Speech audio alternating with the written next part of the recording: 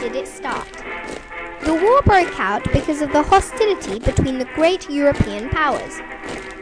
Between 1901 and 1914, most of the great European powers had been rearming and signing complicated treaties of alliance.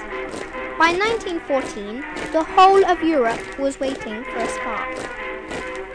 The immediate trigger for war was on the 28th of June 1914, the assassination of Archduke Franz Ferdinand of Austria. Within weeks, the major powers were at war, and the conflict soon spread around the world.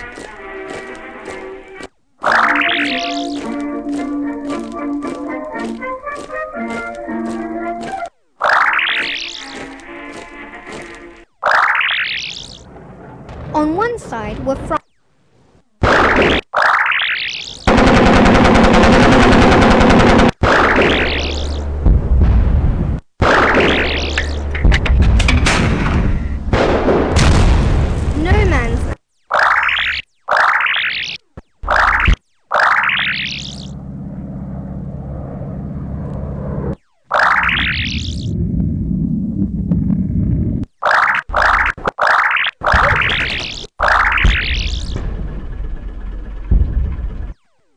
The First World War was one of the greatest